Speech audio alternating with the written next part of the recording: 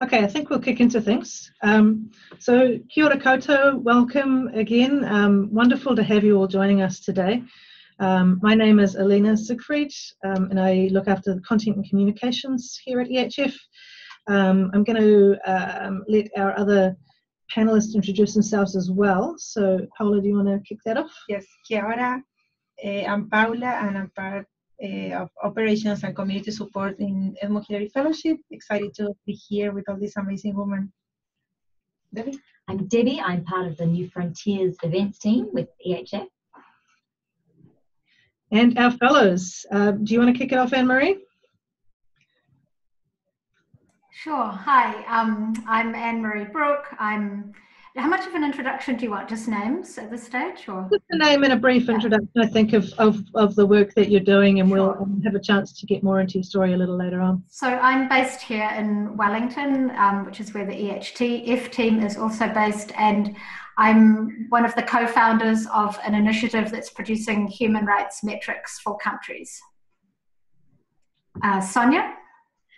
Uh, kia ora, everyone. I am Sonya Renee Taylor. Um, I am the founder and radical executive officer of a digital media and education company called The Body is Not an Apology. I'm also a performance poet and author. Beautiful. Very cool. Hi, everyone. Kia ora. Hola. I am Dina and I am from Mexico. I am based between the US and New Zealand, currently in New York City. And I founded an organization called Education for Sharing with the mission of forming better citizens through the power of play uh, for all all kinds of children uh, in every every context. Thank you so much. Fantastic. Thank you, everybody. Um, I'll kick into um, about five or ten minutes now to just quickly go through what is the Edmund Hillary Fellowship, um, what's it about, how can you apply, um, and we'll go through that reasonably quickly. So um, if you're interested in a, in a much more in-depth um, overview of, of, what, of the slide deck that I'm going to go through, it'll be worth checking out previous webinar recordings on our YouTube channel. Um, that's where we go much more into depth about the program itself. But today we are going to be um, focused on the, um, the, the stories more of, of three of our incredible women fellows who have um, uh, yeah, decided to join our call, which is um, which is very exciting. So um, I'm going to go through the next bit quite quickly. I'm just going to screen share here so that you can you can see our slides. Let me know if this is showing up for you.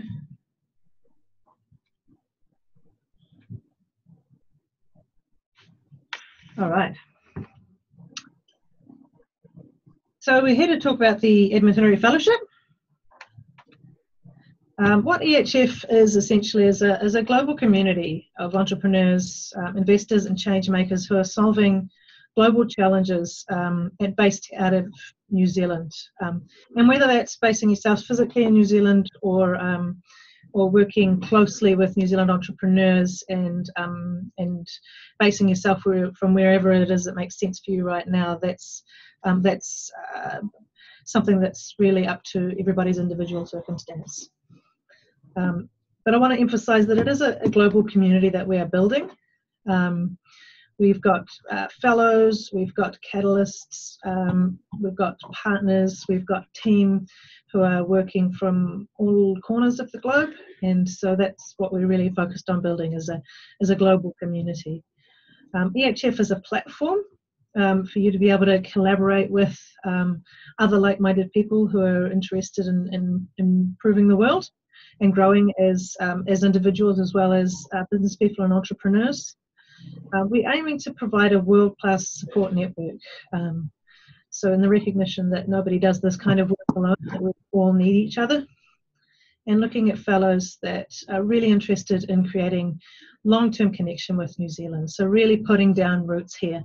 And as I said a moment ago, whether that looks like um, immediately moving here and um, establishing a base for your operations here, or whether it means you might take a few more years to um, develop some of your um, business and project networks here, we're open to a few different options in that regard. we run a number of events every year. The um, the big one of which is our New Frontiers summits and Welcome Week retreats for fellows. And so we had the last one back in April where we welcomed cohort two. Um, the next one is in October, November, and we'll be welcoming cohort three, which we've just recently selected.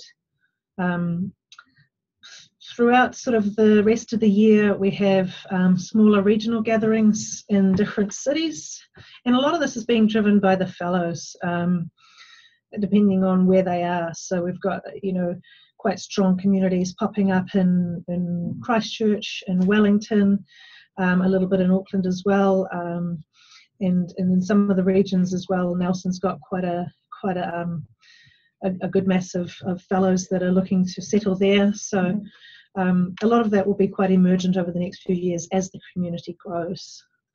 Um, we've got a space for online connect, connection and um, collaborating with your other fellows, and that's a um, community that we're continuing to build up and experiment with new tools um, on. And then you've got the EHF's team, which um, which also aims to support um, people on a more of a one-on-one basis, depending on what your individual needs are. So this is just a bit of a sense of um, what our New Frontiers gatherings um, look like. There's a lot of focus on informal space and time and just sitting around in circles and and uh, people uh, very much um, driving the conversation. So um, putting up their hand to co-host specific sessions. There's there's a chance for um, you know exploring some new technologies and so on, and and really kind of uh, connecting on a person-to-person level as well. So a few um, thoughts now on why why New Zealand? Why have we chosen New Zealand to be um, this this base camp for a better world, this home of global impact? Um, and there are a few reasons why, um, you know, reasons that make ideal uh, New Zealand ideal for being um, a place where you can test and incubate new new impact based ideas. So. Um, historically, we have a very strong record of um, of civil liberties and and political rights. We're the least country, uh, corrupt country in the world, the second most peaceful country. Um, we were the first country in the world to give women the right to vote, which is, is a point that I'm particularly proud of. Um, while we're not at all uh, perfect, um, I think it's um, really cool that we've been a leader for a lot of the Western world in um, healing some of the wounds of colonisation around Indigenous relationships and rights. Um, we have the Treaty of Waitangi here in New Zealand, which is the founding document of our nation between the Maori people and the, um, the Pākehā settlers. And generally um, leading a lot of the world ranks in um, generosity, diversity, and happiness. Um, Auckland is the second most diverse city in the world, I believe, after Vancouver. So it's Auckland is more diverse than New York and, and London and some of those other big um, big hubs. So it's, so it's an exciting place to be. It's also um, really great in terms of scaling early stage ventures and trying out new ideas here. So um, World Bank has called us first in the world for ease of doing business. Um, our particular geographic location means that we have pretty good, strong relationships with, with both the East and the West. Um, we've got a well-educated workforce, so you can find um, staff for your for your companies here and generally um, very flexible. So um, New Zealand is small enough that you can, you know, you can get a CEO on the phone or you can talk to an elected official and you can actually um, talk to the decision makers here and, and test new ideas and get things done, which is, um, yeah, really creates an atmosphere conducive to innovation. Just briefly going to go through a few of our, um, our companies who've come out of New Zealand whose names you might recognise, some who you may not. Um, Weta Digital, of course, is um, is one of Wellington's uh, biggest exports. Um, they did Avatar, Lord of the Rings, King Kong, um, lots of big Hollywood blockbusters, um, and, and really pushing the, the boundaries of digital effects there. Xero is um, a accounting firm which have just made really sleek, easy to use accounting software. Um, several billion dollar valuation. So that's one of our bigger uh, tech success stories. Um, a bit closer to home, we've got examples like Sunfed Meats, who are uh, using pea proteins and vegetable proteins to um, create replacement chicken products, which are, I think, quite. I, I, haven't tried them yet, but I've heard they're quite um, uh, convincing. And so, really looking at lowering the uh, environmental impact of, of protein productions. And the Enspiral Network is a really cool, um, I guess, collaborative experiment that was born out of Wellington and is a network of about 300 freelancers, creatives, entrepreneurs, um, investors, um, and uh, artists that are all um, uh, working under the umbrella of stuff that matters. Um, and they tend to work as a, a non hierarchical um, platform cooperative type of model where, where the members of the network really, really drive what's going on. So that's a really cool experiment in participatory decision making there at Enspiral. Um, talk a little bit about who we're um, looking for in terms of our fellows, the kind of qualities we're looking for, and we'll briefly cover how to get involved as well. So here's our selection criteria, and as I said, I'm going through this quite quickly. You can have a look on YouTube if you want to dive more in detail or on our website.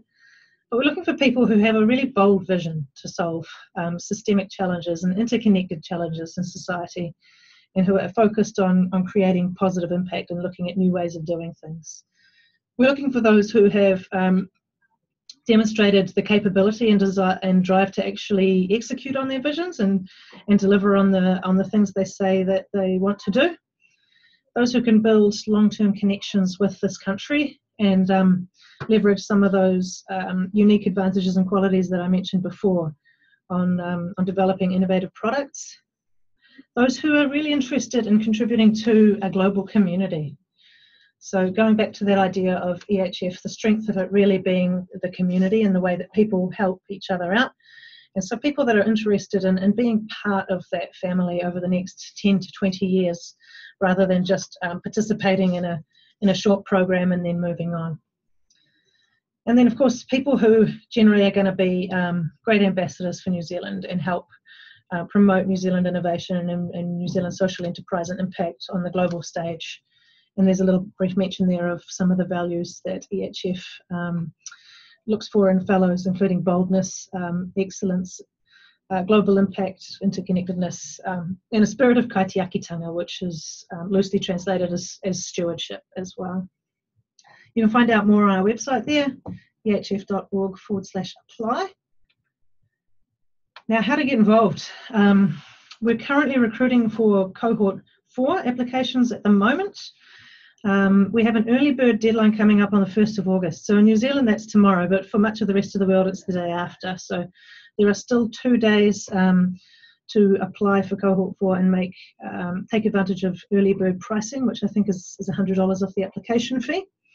And then our final cohort uh, four deadline is the 2nd of September. Um, we'll be going through the selection process after that between September and November and be letting fellows, uh, the successful fellows know at that point um, whether or not they've been selected and that that process involves um, a number of steps um, and shortlisting um, processes throughout that, some video interviews for some and, and so on. Um, the Global Impact Visa is something that happens uh, separately and after you've been um, accepted into EHF. So accept, acceptance into EHF is the first step. Um, and we hope by that stage you will have already done your homework as to whether you can qualify for a global impact visa in terms of health and character requirements. Um, so at that point you do the, um, the formal application with Immigration New Zealand.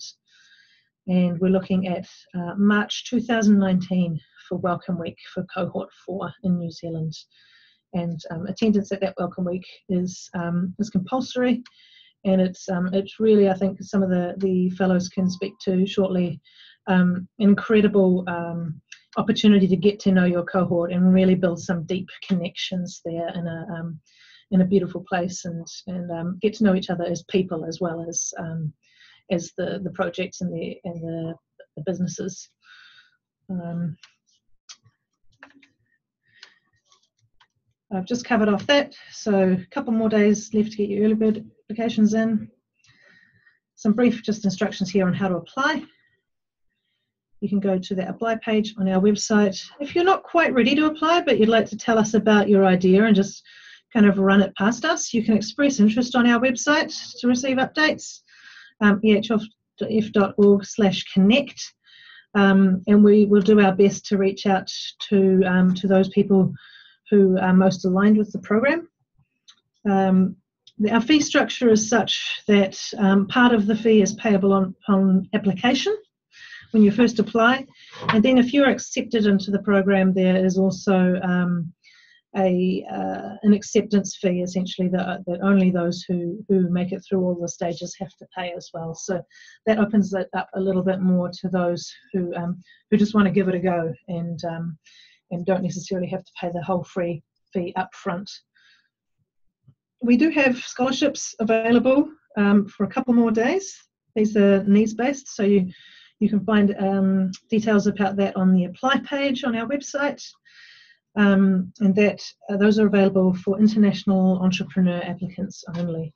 The New Zealand um, entrepreneur price is already he- heavily subsidised, um, so the the price for, for, application fees for Kiwis is is quite a bit lower than um, than the international um, entrepreneurs and investors. So at this stage, I would love to hand it over to um, to Anne Marie uh, to tell us a little bit more um, about your journey into EHF, um, how you've been finding the program, and, and anything else you'd love to to chat about.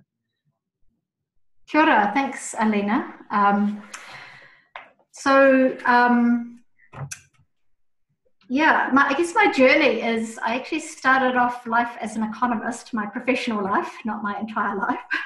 um, and I, I found myself at some point becoming really, really interested in human rights and what different, what difference government respect for human rights could make to economic development and people's lives.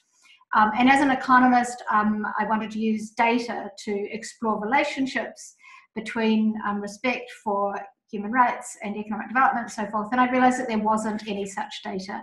Um, and over a long period of several years, I've reached out to numerous people around the world, and we ended up um, founding the initiative, Human Rights Measurement Initiative. At the time that I applied for EHF, so I was applying for the first cohort, um, and that was kind of first half of last year.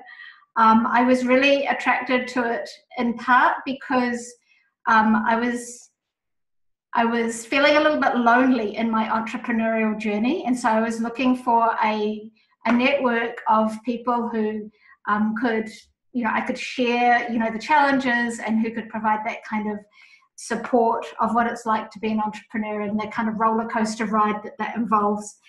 Um, and also, um, I thought that EHF would help to build my profile as a relatively new um, entrepreneur and all those things have turned out to be more than true. I've been really, really happy with, um, you know, I was so excited to be accepted. It's been a wonderful experience for me to be part of this wonderful um, network of people, all who are caring, really caring about having global impact. It's in so many different ways and at so many different levels. Um, and yeah, it's, I would say, you know, one of the, one of the questions that kind of Alina said to to focus on was how does what how does how has my experience compared with what I expected? I was expecting it to be great, but it's been even better. So, is there anything else that you wanted me to cover that I haven't specifically spoken to? Perhaps a little bit about um, how EHF has specifically helped in, in the type of work that you're doing. It'd be it'd be great to hear a little bit more about um, the Human Rights Measurement Initiative and um, and how the connections can can help there yeah so yeah i think in some ways what i'm doing is you know there's, there's no one else at least that i'm aware of so far in the community who's working directly on human rights. I think for some people they're working on topics where there's a lot of alignment very closely with other fellows and some of them have actually started working together and really co-creating things for me, I, I, expect there probably will be more of a community that we can build around those issues in the future. But so far, what I've noticed in terms of the um, connections have been, um, you know, it's a very global project, and EHF helps to provide that global profile that that may, may have been harder to build from New Zealand, you know, in, in terms of starting a new initiative. Um, we're working with countries all around the world. We have a we have an expert survey, a, pro, a survey that we send to human rights experts in countries around the world to, to seek information from them about what's actually happening on the ground in those countries. I think there's lots of scope um, for the actual connections within EHF around my work to be built further. But even already, I would say that the biggest impact for me personally has been the profile raising and the personal support and um, collaboration just from other fellows and from sharing experiences and um, getting that kind of more personal support. Fantastic. Um, thank you, Anne Marie. Um, I think what we'll do is, is, hear from some of our other fellows at this point, and we'll leave um, a lot of time at the end for questions and and perhaps um, diving into specifically um, some of those angles that our participants want to know a little more about. I see Amy's got a question here um, about exactly what's involved in EHF. Um, really great question. We'll um, we'll get to that I think um, a little bit later, but we'll in the meantime it'll be wonderful to hear a little bit from uh, Sonya if you'd like to take the mic. I know you're sure. very good at taking the mic. so. hmm my journey to EHF uh, was very sort of serendipitous and accidental. Um, I was uh, the first time that I came to New Zealand was in 2009. I was invited um, as a poet for the Auckland Writers uh, Festival. And I was here for 10 days and I fell in love and I was like, I love that place and I would love to go back one day. Um, and so, in between that time, 20, not 2009 and 2017, um, I had gone from being a performance poet um, to accidentally, which seems to be the theme in my life, accidentally things happen, uh, accidentally uh, stumbling into my work um, with uh, my company, The Body is Not an Apology, um, like I said, we're a digital media and education company who looks at the intersection of identity and social justice and uh, using a framework we call radical self love. Um, and so, really looking at how do we interrupt uh, body based oppression by shifting the way that we understand and relate to our own bodies and the bodies of other people. Um, and so, for my 40th birthday in 2016, I decided I was going to do something absurd and gift myself a trip back to New Zealand um, to see if I loved it as much as I thought I did.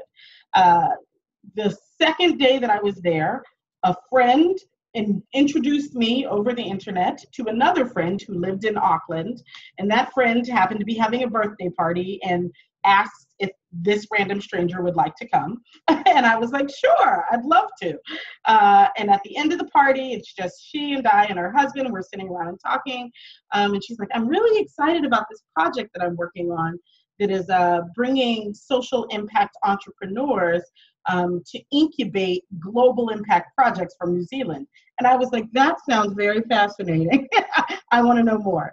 Uh, and so she sent me the interest letter for this thing that was totally new that had not even really been kicked off yet. Um, but I was I was immediately intrigued. I was intrigued because of the sort of powerful um, capacity for change that I think New Zealand has, the ability to to quickly adopt an idea and then have it reach scale. One because of size and also because of sort of location and that sort of thing. Um, I was really inspired by um, the relationship um, of the country with its indigenous community. Um, while not being perfect, light years away from the way that that relationship looks in the US. Um, and so I was just really intrigued and wanted to know more. I sent in an uh, I sent in an interest letter, and the last day of my trip, um, uh, Alina and um, Joseph, who uh, is the CEO, sort of head of the project, uh, invited me in to talk. Unbeknownst to me at that time, Alina was like, I already know you. You judged me in a poetry slam, which was hilarious. Um, and so that sort of got the ball rolling. Uh, that conversation really solidified for me that there was a vision that EHF was holding as it relates to um, what are interesting, creative, innovative things that folks are doing um, that can change the world. And that was something that I was inspired and interested in. Um, and so I knew that I was going to apply, and it all happened really quickly. Um, I applied for the first cohort, um, found out in the late summer, and decided I was going to move my life to New Zealand uh, to to do this work. And so um, I've been here between here and the U.S. since October. Fantastic. And, and how have you found um, New Zealand so far in terms of um, being a place where, where you can build your work on your work? Um, it's it's been really amazing. Um, one of the things that I think has been most powerful about EHF is connection. Is the way in which someone knows someone who's who knows that you're the exact person for the thing, um, whatever the thing is. Um, and so, um, so much of the relationships that I've built have been someone saying, "Oh, you need to talk to so and so," and then I talk to so and so, and then all of these things open up. So um, it's it's it's fascinating. New Zealand is two degrees. I want to say it's one degree of separation, um, literally. Uh, so I ended up um, being covered on a news story for a workshop that I did here, which I got as a result of someone in the fellowship introducing me to someone else. Um, and that news story is national. And so then I walked into the motor vehicle place to get my car fixed. And the lady was like, I know you. You're the radical self love lady. and so that's actually been happening around the country. Uh, so, I mean, I'm, I'm pretty visible. Uh, but beyond that, uh, there's just a way in which ideas can spark really quickly here. Um, and I think EHF has created the container for that to happen.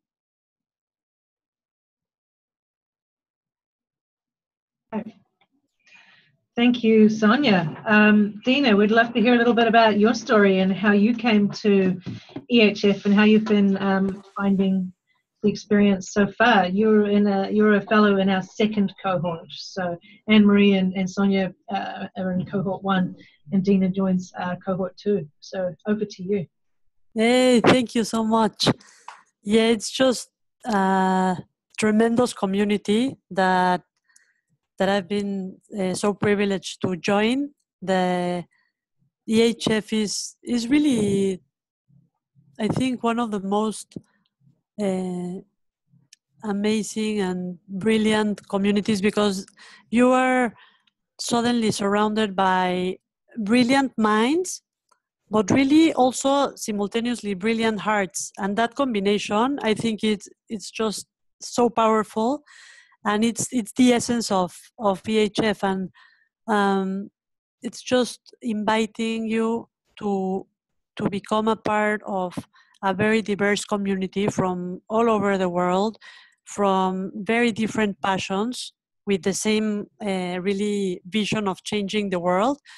I was in love with with this vision because um, when when I met uh, the EHF team, I was like, wow, you are inviting us to go to this beautiful place, uh, far or near relatively.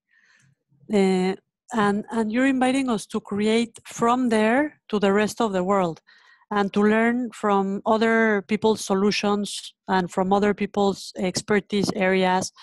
Um, and so I, I was really, really moved by by the vision and knowing that when you talk to each person at EHF team and the other fellows, you know that you're talking with real real people. And intentions go beyond intentions no? They, they really reach uh, a very concrete and tangible uh, place. And so i Yes, I mean, I, I, was also like Sonya in love with New Zealand from the moment I, I had the opportunity to to be there for the first time. I was an exchange an exchange student in Dunedin, the south of the South Island, um, in 2004, and so when when I returned now with my family as a whatever grown up means, um, I I met Joseph, and he was sharing about the, this idea that they were already working on, and and I it, it just clicked. You know, it made a lot of sense. Uh, dedicating my life to forming better citizens from young ages through the power of play, and re- realizing that in in in my mind, a better citizen is someone that has a purpose, and that that purpose involves like a greater a greater um, ambition beyond oneself is like uh, what makes you happy what makes you your heart beat. Uh, and when you realize from a young age that it what really makes your heart beat is uh, being able to contribute to other people's lives then uh, it it everything makes sense. And when i understood that beyond the seven Latin American countries where we are operating and the US, uh, we could reach like the whole world from New Zealand. It just made a, the most amazing uh, sense in, in our whole system. Uh, I shared this with my team, and my team in Mexico was like, "This sounds crazy, crazily, amazingly," and and they were really uh, enjoying already the the vision of of what this could mean you know? And just like Sonya was was sharing um, i had a very similar experience. Being from cohort 2 I, uh, we were in new zealand in april and may and just the kind of connections that the EHF allows and the kind of welcome that you receive from people. I was living again in Dunedin. Um, it's just how fast do ideas take their a life of their own, no? And and how people are super receptive and just so willing to share and to learn and to collaborate and co-create.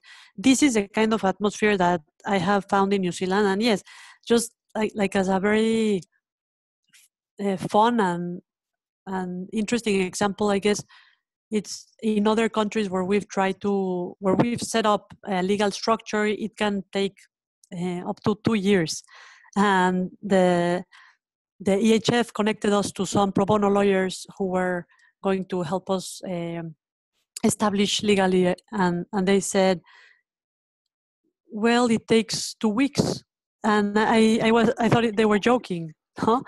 Coming from from Latin America, this just seems like a like a fun joke, but it's mm-hmm. it's real, no? And so, and and people are very very well well intentioned and super hardworking, and so it's an environment where everything happens.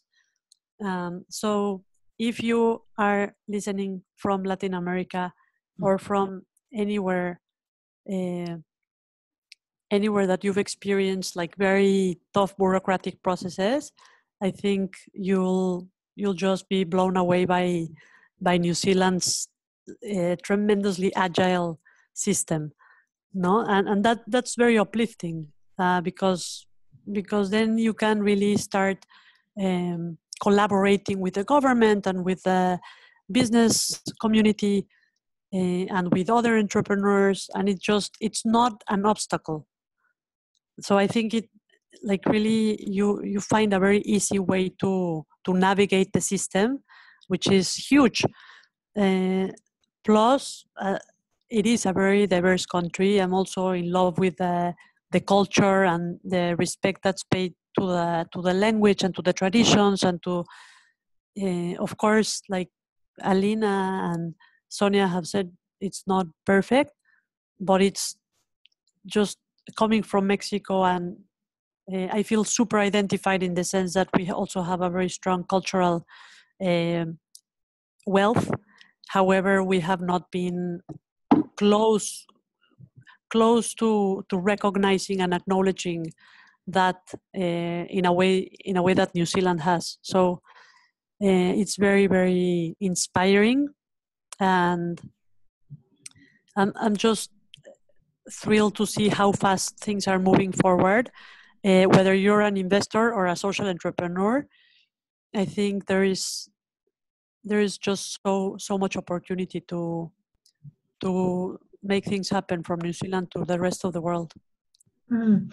Dina, you, you mentioned before that this is like a um, you're finding it a, a really great place to um, conduct some of your work.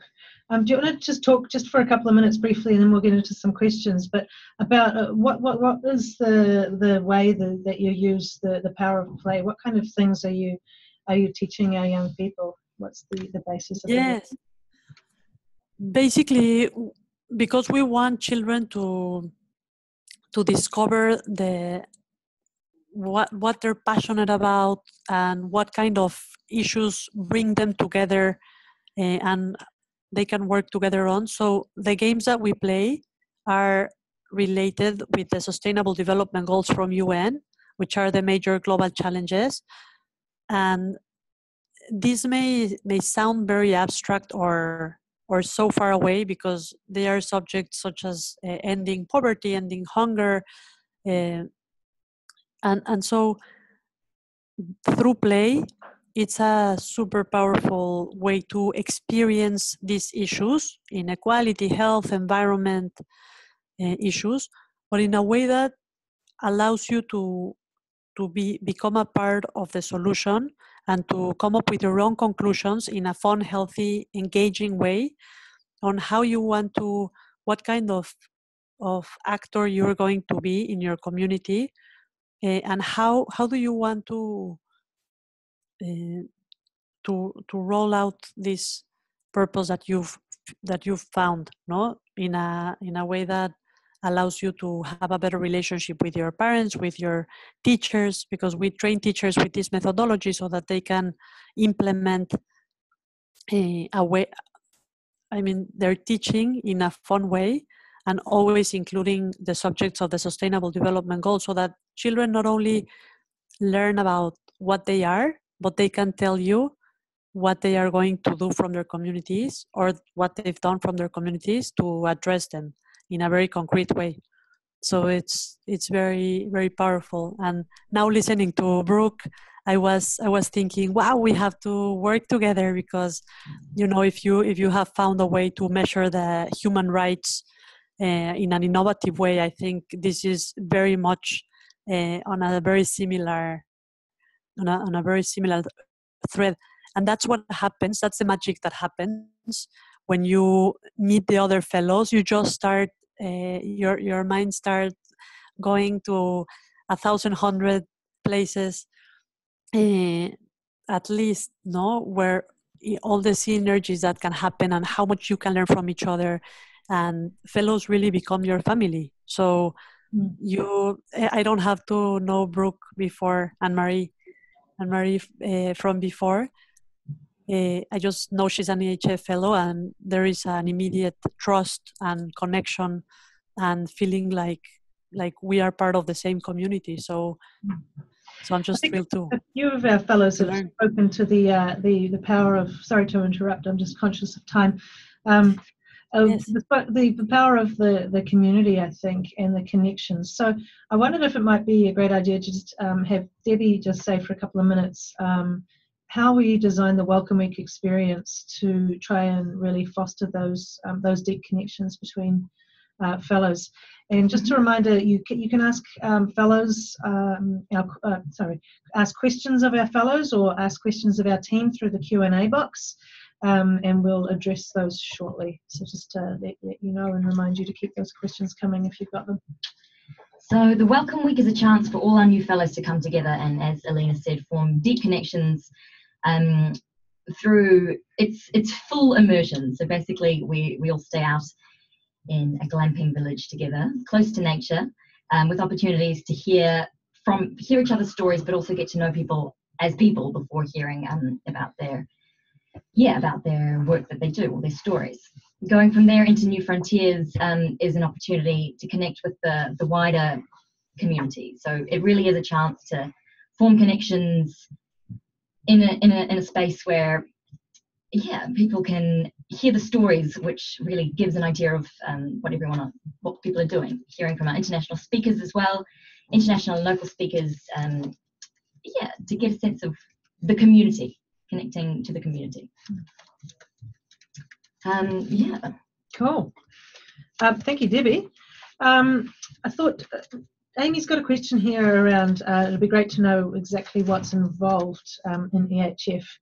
Um, so that's that's a really great question. We're, um, we're we're quite focused on building the connections between the fellows and then letting letting a lot of the, that work happen in a, in a more self-directed way. So EHF is not an accelerator program. It's not an incubator. Um, there are some uh, overlapping threads of those kinds of models, but essentially what we're building, and I keep coming back to this concept of community. So it's a fellowship community that supports each other. Um, the ways that fellows are going about their work is quite diverse. Um, so some are, are, building new companies, some are, um, you know, have got um, companies that are that are mature or definitely moved beyond the startup phase to actually um, the, the stay up phase, as I call it. um, and, and we've got people who have, you know, built billion dollar companies um, in, in California as well, and then um, and then some who are very much operating at the in the grassroots and community level. And so we've um, we've really not we're not I guess in the business of directing how you should go about your work, but we're here as a support network in a community. Um, for, um, for, for whatever makes sense for you. Um, so really what you get out of the program is, um, is what you put in. Um, there's a few questions here that I think we can put to some of our, um, our fellows. So um, first quick one from Nicole. and let's, let's try to keep answers to, to around about a minute because we've got a few questions to get through. But um, curious to hear from our fellows. Um, have you always seen yourselves as entrepreneurs? Well, um, I can start by answering that. Um, I would say that at a, at a level, yes, I always wanted to be developing new ways of making the world a better place. And actually, when I was in more conventional jobs, when I was being employed as an economist, I often used to feel slightly envious of um, people who would label themselves entrepreneurs um, and kind of think, oh, I wish I wish I was doing something a little bit more entrepreneurial. So I always had that running through my blood. And when um, it came to the to the decision point where I actually jumped off my more conventional path into being a more explicitly self-labeled social entrepreneur, it was a really it was an exciting time for me.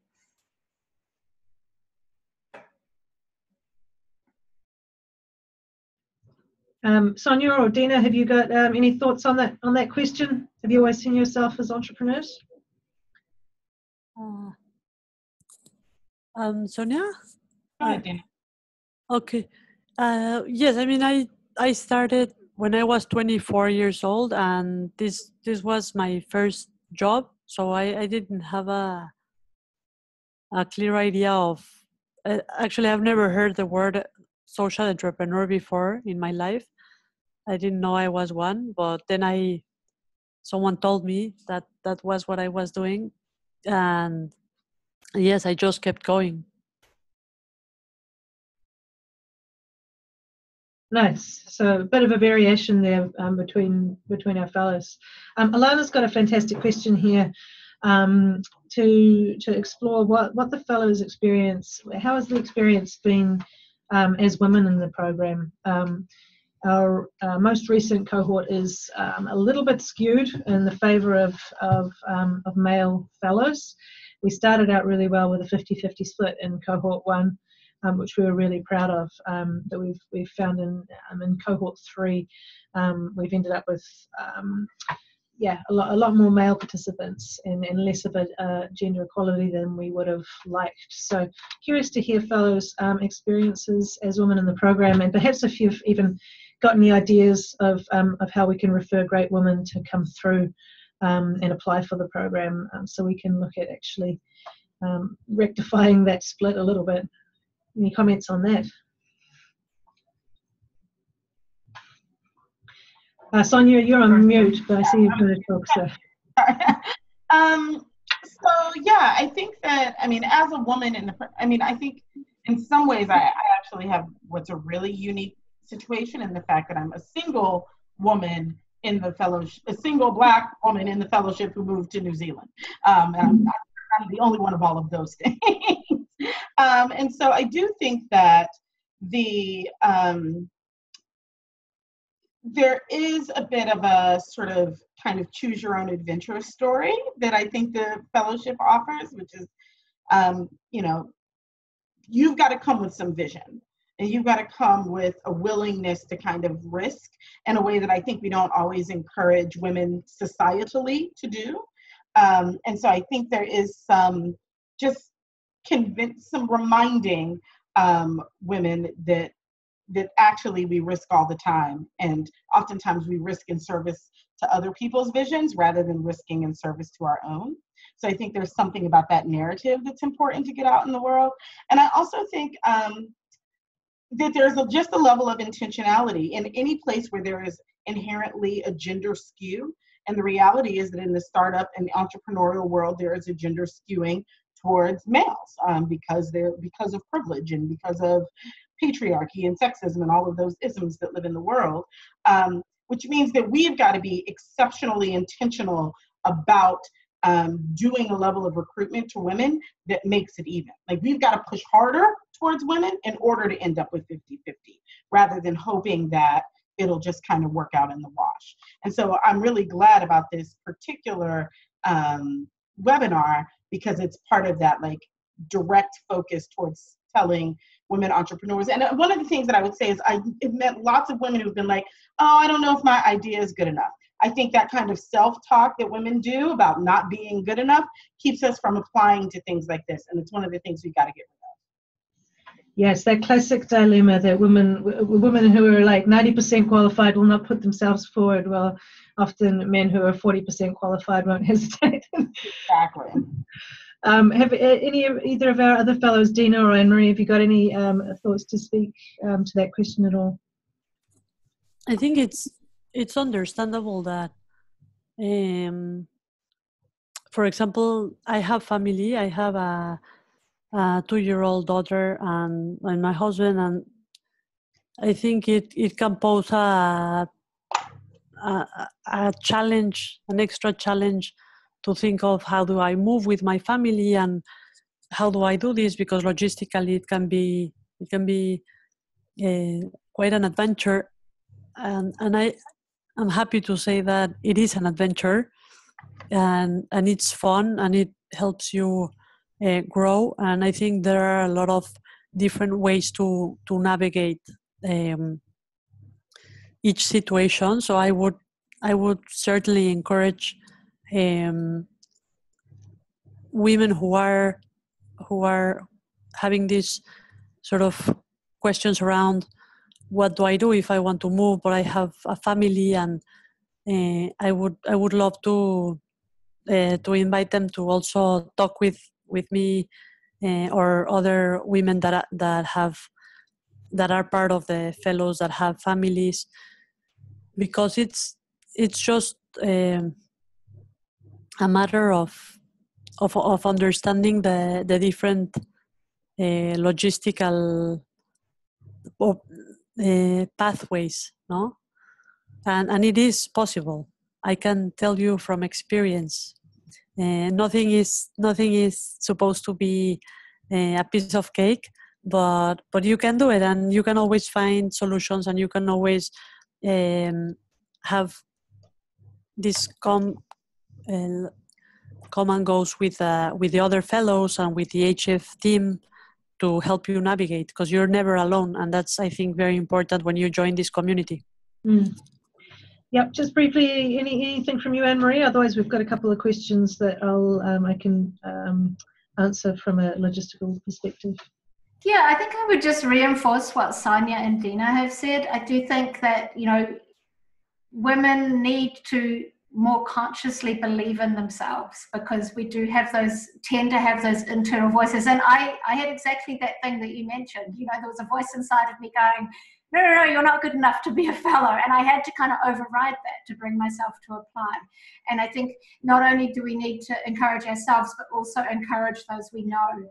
Um, and you know talking about the fact that there is though there are those different um, biases that we have as men versus women, I think making people consciously aware of that can really help.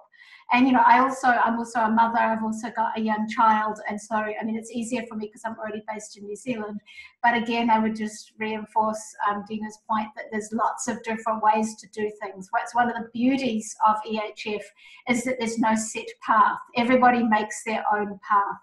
Um, and the other thing I'd say is that the community itself is just so incredibly supportive. There's no expectations to conform to anything in particular. It's a community that's going to celebrate you being who you are and the wonderful the wonderful vision that you have in whichever niche area that be. So it really is a beautiful place to be as a woman. Oh, thank you. Thank you, Anne Marie. And we've got a few more questions here I'd love to just get to. Um, Amy's asking about financial support, the requirement for fellows to be um, in New Zealand. Um, a nice uh, bonus of the of EHF and the Global Impact Visa is that there is no minimum day requirement to be in New Zealand. It's a very flexible visa in that regard. Um, and and really is is in response to the fact that we recognise our fellows are making global impact in a lot of different ways, and that doesn't always necessarily mean that they need to be based physically in New Zealand for a certain amount of days each year. So um, it's very flexible in terms of travel. Financial support we are unable to offer. Um, we're not, as I said, an incubator or an accelerator program, so we don't provide um, any financial support. You you are in the driver's seat to um, to um, facilitate investment into your own companies. The flip side of that is that EHF doesn't take any equity in any of our fellows' um, uh, companies or ventures.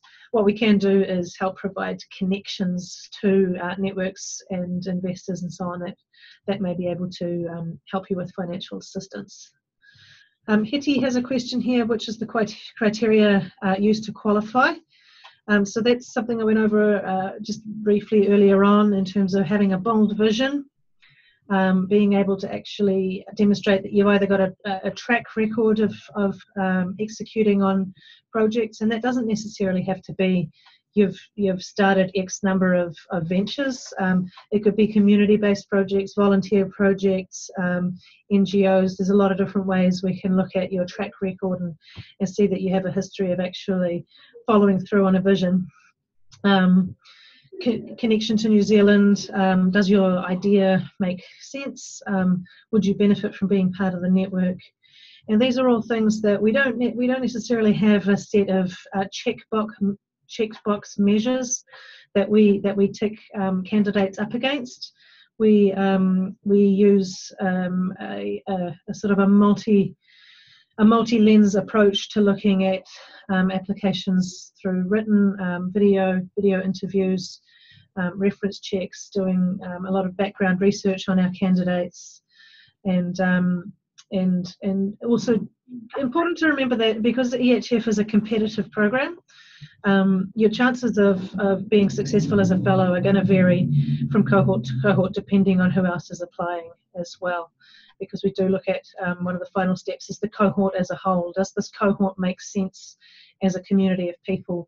Do we think they have complementary skills that, that could help each other out? Do we have um, you know somebody working working in one industry or do we have too many people in, in another industry so that we, we do look at the cohort as a whole as one of our final selection steps um, just we've, we've finished up the questions in the Q&A box. Um, there was a couple of questions I think that came through in the chat window as well.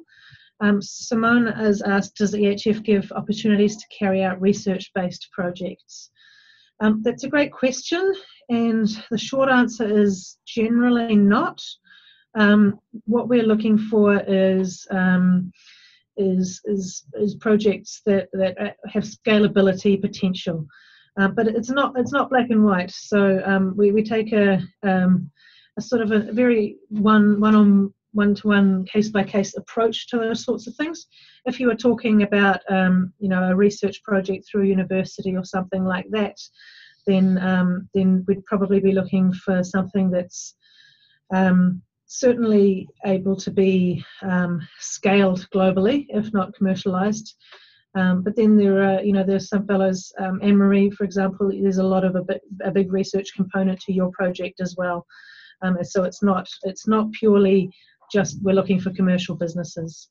Um, it's it's probably um, more of the focus, um, but yeah, it's not a, it's not a clean cut answer. Sorry, you're you're always welcome to put through an expression of interest on our website as well through that ehf.org forward slash connect and tell us about the idea there, and we'll um, and we can get in touch if it if it seems like a good fit. Um, any other questions to come through? Do you require fellows to incorporate their firms in New Zealand? Um, from Marie. Um, no, we don't. Um, some of our um, fellows um, have already incorporated their firms overseas, and it and it makes sense for them to be based there still. Um, they may look at setting up an office or some sort of a side arm of their organisation here in New Zealand. Um, others, it just makes sense to keep on operating from where they are, but perhaps start taking on some New Zealand clients or um, collaborating with other New Zealand fellows um, or, or, entrepreneurs here as well. We have uh, one minute left, so if any uh, any keen beans there uh, want to get last question through, then you're then you're welcome to. I'll leave it for another few seconds there.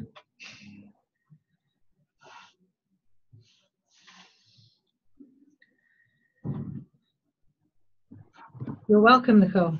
um, and just going back to, um, I think the conversation around how how we can really encourage a lot more women entrepreneurs to apply for EHF. Um, please let your networks of incredible women know about the program, uh, women and, other marginalized uh, genders as well. Um, and just let them know this is available, um, that we want to support that we want to support you and we love you to put your name forward. Um, so those that are on the webinar, please share it. If you're watching on YouTube, you know, there's a big share button down there. Um, make use of it. Um, it'd be fantastic to see a lot more um, really, yeah, strong, strong Wahine women coming to this program as well. We are on three o'clock, so I think we will um, we will cut it off there. Um, and yeah, you can reach out to our team through the website if you do have any additional questions. I want to thank our fellows immensely. Uh, Sonya, Anne-Marie, it looks like we've lost Dina. But um, yeah, a million thank yous for your time this afternoon. It's been fantastic chatting with you. Bye. See you later, everybody. Thank you.